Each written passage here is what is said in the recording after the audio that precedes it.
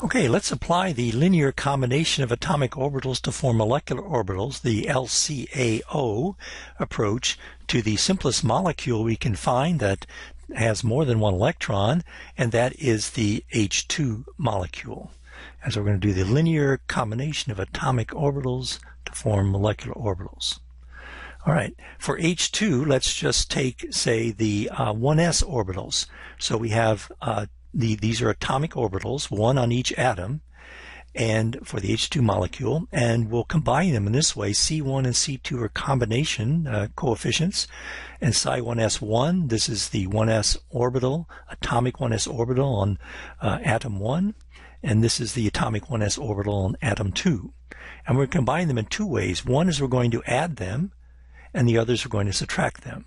So um, this we will find will lead to um, some um, bonding and anti-bonding orbitals like we had for the H2 plus.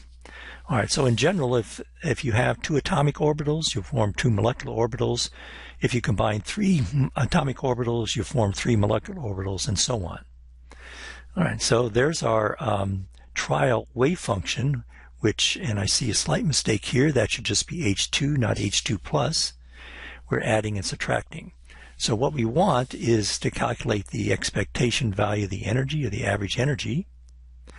That will be the um, wave function.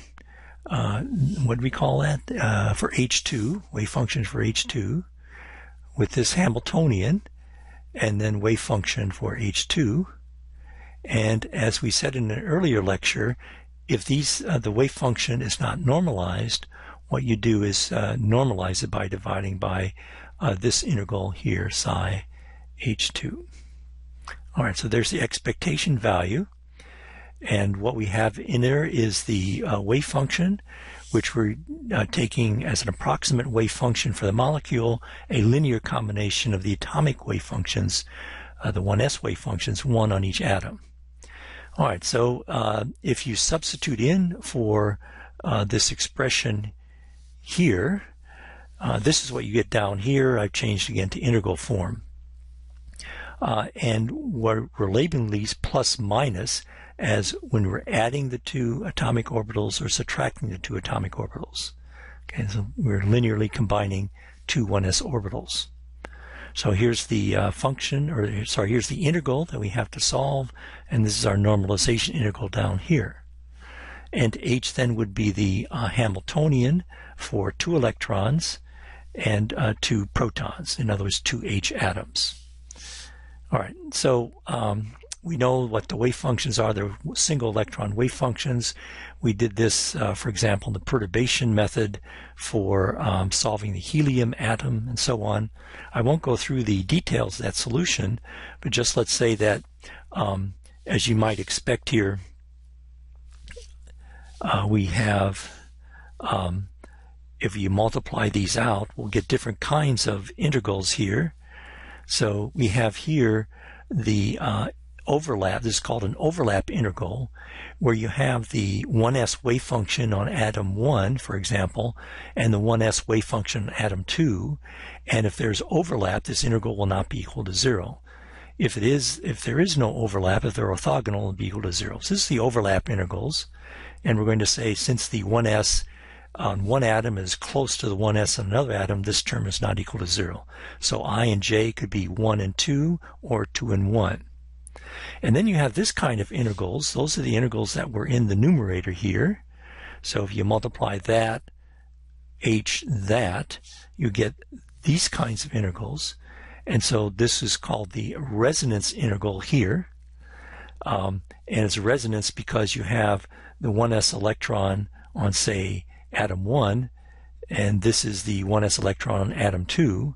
So you have um, a resonance as if it were the electron on 1 is coupled to the electron on 2 through the Hamiltonian, and that's called a resonance integral. And typically, we'll use this notation later on. We have uh, Sij is an overlap integral, so it's this. That's a symbol for this integral here, where i and j are the atoms that you're combining or the uh, atoms on which the atomic orbitals reside that you're combining. And similarly here, Hij, that's with the Hamiltonian, and that's with um, the 1s electron on atom I and the 1s electron on atom J. So if you work these integrals out, you'll find that um, the if I is not equal to J, you do not have this integral is zero, and if um, uh, so therefore you just have H11 and H22 terms. So this is electron 1 and electron 1 on both the wave functions coupled through the Hamiltonian, same way with this. And down here, uh, you have the overlap integral S12, which is uh, overlap between 1 and 2, and then the overlap between 1 and 1 and 2 and 2 give you this one term down here. So there's the energies, and this is what it looks like. Uh, these are the H2 molecule. And here you have, just like we had for the H2 plus molecule, we have a orbital, a combination of those two atomic uh, orbitals that give you a orbital that looks like this. And we're going to call this bonding because there's electron density in between the two atoms. And then because we combine two atomic orbitals, we get two molecular orbitals. Here's one of them bonding.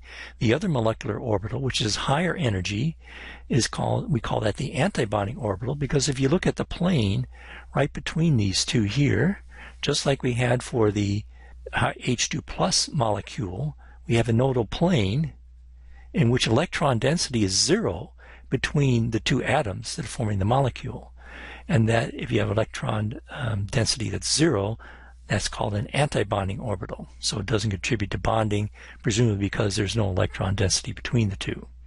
So just like we had for the H2 plus uh, molecule, for the H2 molecule, we get bonding and antibonding orbitals.